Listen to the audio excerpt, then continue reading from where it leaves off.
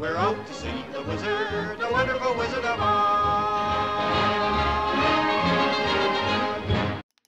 Hey everyone, welcome to We're Off to See the Wizard, the blog series of Asheville Community Theatre's production of The Wizard of Oz.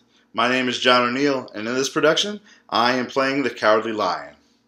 Over the next 12 weeks or so, we will go on a journey from Kansas to Munchkinland all the way to Oz, and I'm taking you with me.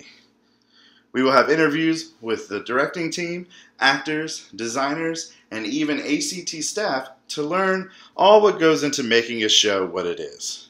You will see what goes into rehearsal, as well as backstage during shows, and even a glimpse into what we do to get ready.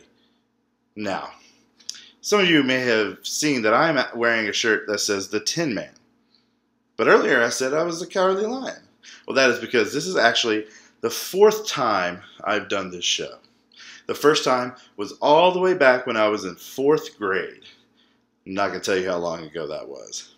And I played the wizard. Check out that wig. Then a few years later, when I was in high school, I was a stagehand backstage at Cape Fear Regional Theater in Fayetteville, North Carolina.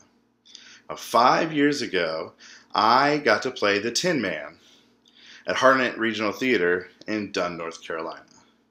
So this time, the fourth time, I finally get to play the role I've always wanted to play.